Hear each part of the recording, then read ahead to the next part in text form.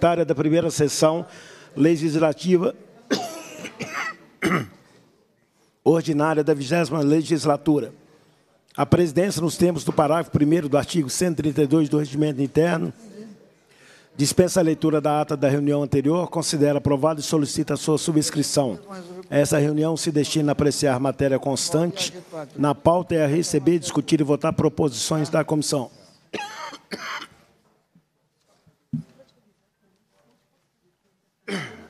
Não, eu tenho.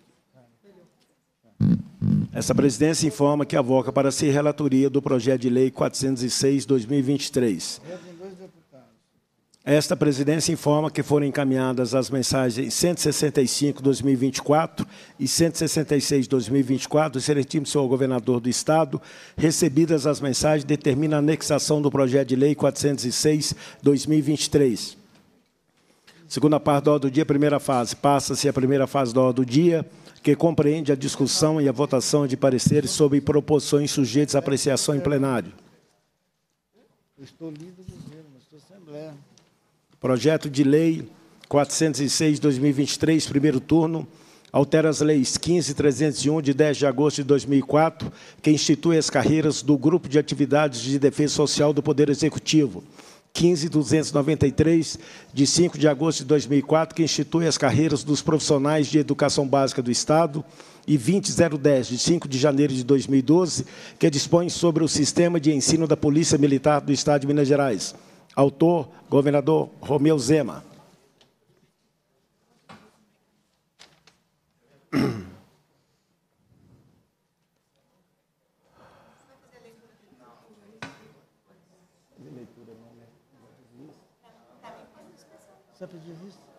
Pedir vista, né? Pode dispensar. Tá bom. Para mim também pode. Ok.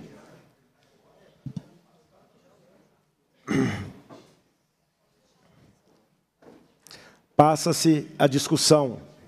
Para discutir, presidente. Para discutir, deputada Beatriz Cerqueira. Presidente, boa tarde. Boa tarde aos colegas aqui da Comissão de Fiscalização Financeira e Orçamentária, a quem nos acompanha, a Secote está aqui nos acompanhando, os trabalhos. Presidente, eu peço vistas do parecer é, e já aproveito para explicar a quem está nos acompanhando que, quando a gente pede vistas do parecer, é para que nós possamos ter um, um tempo é, para analisar as alterações né, que foram aí propostas pelo relator. Nós chamamos uma audiência pública, que acontecerá na Comissão de Educação, Ciência e Tecnologia nesta quinta-feira, às 10 horas da manhã, com todas as secretarias envolvidas é, convidadas. É, e esperamos, nesta audiência, poder nos debruçarmos no conteúdo daquilo que o governo discorda. Eu já tive acesso né, àquilo que o governo discorda, é, bem como ao parecer de Vossa Excelência, de modo que também a gente possa contribuir com o debate é, na perspectiva de aperfeiçoar. Né? Eu já deixei muito claro ao comando da Polícia Militar e à direção do Colégio Tiradentes que eu não sou contra o projeto.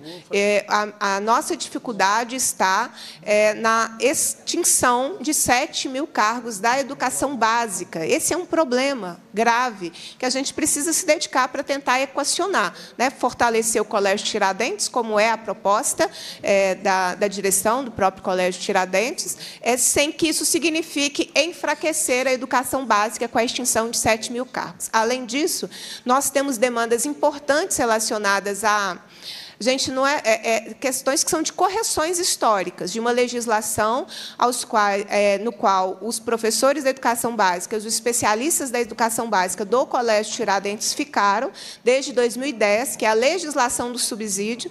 O fato da educação básica ter saído do subsídio é, não quer dizer que ele acabou para todo mundo. Né? Nós conquistamos a saída do subsídio em 2015, mas duas carreiras importantes é, para a educação, no caso do Colégio Tiradentes, ficaram lá. E isso é, acarretou muitos prejuízos é, desde 2010. Nós estamos há 14 anos. Então, também é uma oportunidade para que nós possamos corrigir essas lacunas, é, esses problemas né, que essas carreiras enfrentam. Então, eu estou justificando meu pedido de vistas. Eu tenho certeza de que na audiência pública é, dessa quinta-feira, na Comissão de Educação, a gente vai conseguir aprofundar o debate, é, de modo a contribuir naquilo que for é, o melhor para o Colégio Tiradentes, sem é, enfraquecer a educação básica. Então, é esse meu pedido de vistas, presidente, do seu parecer. Pela ordem, presidente. Pela ordem, deputado Sargento Rodrigues. Presidente, eu não poderia deixar de me manifestar. Vossa Excelência, eu tenho procurado Vossa Excelência o tempo todo, tenho procurado o deputado João Magalhães, o líder de governo, tenho procurado o presidente desta casa. Esse projeto, é, ao meu ver, já poderia ter sido aprovado pelo plenário dessa casa há bastante tempo.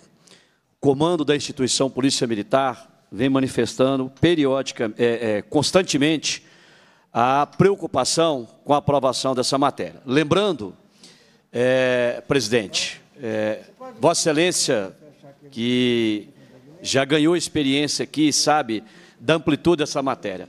Esse projeto, ele permitirá a Polícia Militar em ampliar as unidades do Colégio Tiradentes no interior. E os policiais e bombeiros militares aguardam ansiosamente a aprovação desse projeto. Para que aqueles que estão nos assistindo pela TV Assembleia saibam, o PL 406, eu gostaria só que a consultoria pudesse me assessorar aqui dizendo ah, a partir de quando que ele foi protocolado na Assembleia, é, porque eu já tenho times de algumas comissões. Ele ficou lá na Comissão de Constituição e Justiça. Eu ajudei o deputado Arnaldo Silva compondo o coro para aprovar. Depois ele ficou na Comissão de Administração Pública. Eu pedi perda de prazo regimental, conforme determina o regimento. Ficou por volta de seis meses na comissão. Depois, mais seis meses e 20 dias na Comissão de Educação. É, esse projeto, presidente, tem mais de um ano que ele está tramitando aqui nessa casa. Comandante da foi publicado no dia 23 de março de 2023. Então, presidente, já tem um ano e meio que esse projeto está tramitando. Então, é necessária a aprovação dele, porque muitos policiais e bombeiros militares, presidente, que são bem diferentes de outras categorias de servidores, acabam sendo remanejados. Um vem do Sul, vai lá para o Unaí. Por exemplo, o pessoal do 28º Batalhão Unaí, precisa muito da unidade do Colégio Tiradentes e não tem. E muitas vezes são sacrificados com transferências de forma aqui em Belo Horizonte, o sargento, o comando da PM manda ele lá para Unaí. Chega lá, o filho dele estava estudando aqui em Belo Horizonte, no Colégio Tiradentes. Chega lá, além de ter que pagar a escola, ele tem todo um contratempo. A aprovação do projeto, deputado é, Zé Guilherme, deputado João Magalhães, ele, ele vai além de oferecer uma vaga para os filhos dos militares, que também pode também ofertar vaga para é, civis, ele leva também segurança à família dos policiais e bombeiros militares, que são obrigados a servir no estado inteiro e está pronto a qualquer hora do dia ou da noite, quando o, o serviço é, lhe chamar, conforme dispõe o artigo 15 da Lei 5.301 de 69. Portanto, presidente, é, mais um, um, pedido de vista, a gente entende, é o regimento interno, mas eu espero que o projeto seja aprovado com brevidade, porque nós precisamos levar ela a plenário. O comando da instituição espera e aguarda ansiosamente pela aprovação. Agora, mais do que o comando, quem espera são os soldados, cabos, sargentos, tenentes, capitães, que são servidores, que dão a vida defendendo a sociedade, tanto da PM quanto do bombeiro militar. E eu espero que amanhã a gente possa apreciar essa matéria aqui na comissão e ele seguir para o plenário para a votação em primeiro turno. Muito obrigado. Pela ordem, presidente. Pela ordem, deputado Beatriz Cerqueira. Presidente, é, eu acho que o meu trabalho parlamentar fala por si sobre como eu defendo é, os serviços públicos como eu luto no parlamento pela pauta de valorização dos serviços públicos. Então, o meu debate no projeto 406 não é um debate contra é, ou de restrição ou de não reconhecer a importância do Colégio Tiradentes. Ao contrário, eu tanto é, valorizo como respeito que o parecer que eu apresentei na Comissão de Educação, Ciência e Tecnologia traz correções importantíssimas de um vácuo que professores e especialistas estão desde 2010. A gente tem uma situação absurda, escandalosa, do Estado remunerar por licenciatura curta que nem existe mais. Amanhã eu vou levar a LDB na comissão de audiência, na, na, comissão, na audiência pública da Comissão de Educação. O Estado remunera profissionais que é, estão num colégio Tiradentes, num sistema do colégio Tiradentes, que é reconhecido pela sua excelência, pela sua importância, mas quem faz o resultado do colégio Tiradentes acontecer hoje, por exemplo, recebe por uma, uma formação acadêmica que não existe mais que a LDB, por exemplo, já resolveu. Nós temos que ter a maturidade de encarar isso e tentar resolver, resolver. Não terá outra oportunidade senão o projeto 406. A demora em relação ao 406, ela está depositada, a tramitação do 406, ela está depositada no governo do Estado, que não responde diligência, que só respondeu diligência depois de, de questionado pelo conjunto da Assembleia Legislativa. Né? Então, eu estou aqui aberta com a audiência de amanhã, eu estou espantada.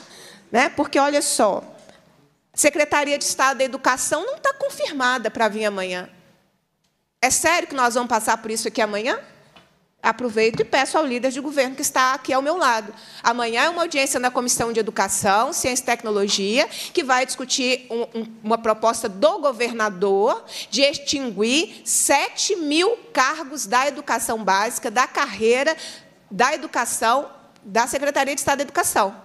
Tem ninguém da Secretaria de Estado da Educação confirmado para participar dessa audiência. A gente convida a Secretaria de Governo, e a Secretaria de Governo acha que ela é representada pela CEPLAG. Eu vou explicar de novo. Quando um deputado, qualquer deputado ou deputada, organiza a sua audiência pública, ela tem, eu tenho, a competência de dizer quais secretarias eu quero no debate público. A Secretaria de Governo, ela é tão arrogante que ela ignora os convites. Aí depois vocês ficam com raiva quando o Rodrigues faz convocação. Porque quem convida não é escutado. Aí parte para a convocação e acha ruim quando as convocações acontecem aqui em comissão. Cansada de convidar a Secretaria de Governo, que não vem nas audiências da Comissão de Educação quando convidada. Está aqui no site da Secretaria de Educação. Quem vai representar a Secretaria de Governo é a CEPLAG. Mas, se fosse suficiente só a CEPLAG, eu não convidaria a Secretaria de Governo. É, ainda, nós convidamos a diretoria de educação escolar do Colégio Tiradentes, que estará conosco. Mas o documento que eu tenho de rejeição do meu parecer não é da direção é, educacional da, da diretoria de educação escolar do Colégio Tiradentes. O parecer que eu tenho, rejeitando o meu parecer, é do comandante-geral da Polícia Militar. Ele não vem amanhã? Ele só vem quando convocado em, em audiências da Comissão de Segurança Pública? É ele que está assinando, inclusive com, com erros. Eu quero ter oportunidade de esclarecer isso em audiência pública. Ele está assinando um parecer rejeitando o meu parecer é, da Comissão de Educação, Ciência e Tecnologia. Ele não vem amanhã né, na, na, no debate da Comissão de Educação, Ciência e Tecnologia. Então, eu estou aproveitando a oportunidade, eu estou fazendo um apelo. A gente tem como resolver o que diverge em relação a esse projeto. Se nós sentarmos e tivermos é, a dedicação para resolver. Agora, tentar passar na força bruta, aí é uma opção, de fato, né, que o governo pode querer é, ter. Esse projeto de lei ele não avançou na legislatura passada, porque o governo não apareceu na audiência pública promovida na Comissão de Educação. Ele não esclareceu por que, que ele estava propondo, por exemplo, a extinção de um nível da carreira da educação básica. Isso foi corrigido. Isso foi corrigido. E só foi corrigido porque, desde o momento em que o projeto foi novamente protocolado, a gente questiona vários conteúdos dele, inclusive essa extinção de um nível da carreira do professor de educação básica, que é o nível de doutorado, que, sumariamente, assim, o governo decidiu que o professor tinha, ia retirar o nível da carreira é, da educação básica. Então, é possível avançar. O que eu estou, de novo, esclarecendo, é possível avançar com a celeridade necessária. Eu sei que é, está em estudo um edital é, de concurso público para as carreiras do Colégio Tiradentes. Isso é ótimo, eu defendo concurso público. A gente consegue avançar.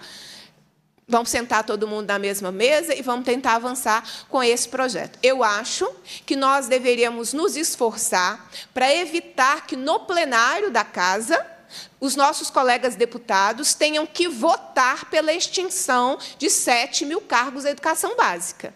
Eu acho que valeria a pena um esforço nosso para evitar essa situação de, no plenário, os colegas terem que votar, porque os cargos estão ocupados e amanhã nós vamos ter condições de debatê-lo é, em profundidade, né? porque quem vem da CEPLAG vem com essa tarefa de esclarecer é, a ocupação desses cargos. Mas eu vou repetir, seria muito importante que a Secretaria de Estado da Educação cumprisse o seu papel enquanto Secretaria de Estado da Educação e aparecesse amanhã é, na audiência pública. E, da mesma forma, todo mundo que está interessado para que esse projeto tenha celeridade, que a gente consiga avançar. Porque, quando aqui tem entendimento, tudo avança muito rápido. E tem o nosso compromisso e o nosso esforço para que a gente construa os entendimentos necessários. São essas as minhas considerações.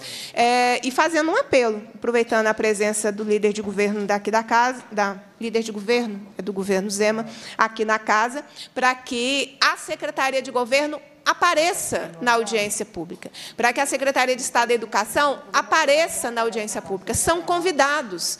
Se eles são convidados, é porque eles são importantes para que eles participem do processo de discussão da audiência nessa quinta-feira. Obrigada, presidente, obrigado pela sua gentileza e paciência em, me escutar. Obrigado, deputado Beatriz Cerqueira. O parecer está sendo disponibilizado para todos os deputados.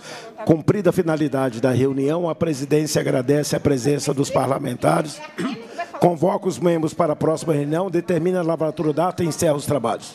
É porque ela que entende. Obrigado a você. Obrigado. obrigado.